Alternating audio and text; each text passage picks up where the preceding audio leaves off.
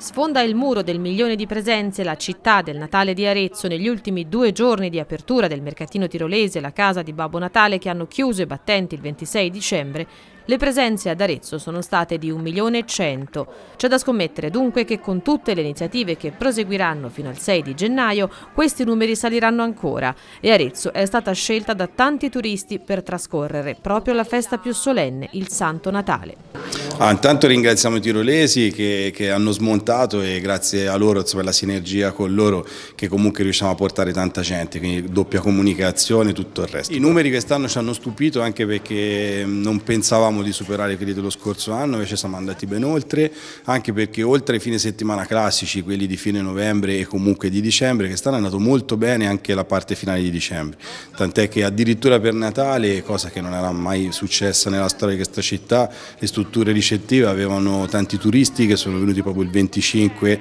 e il 26 a visitare l'Arezzo. Si dice sempre no, che per Natale si sta a casa, invece quest'anno ha funzionato molto bene. Infatti siamo curiosi di capire se questo trend proseguirà, tenendo di conto che Capodanno ormai è già tutto sold out da tempo e per la Befana c'è movimento, quindi siamo convinti di essere riusciti a fare un bel numero di turisti in più.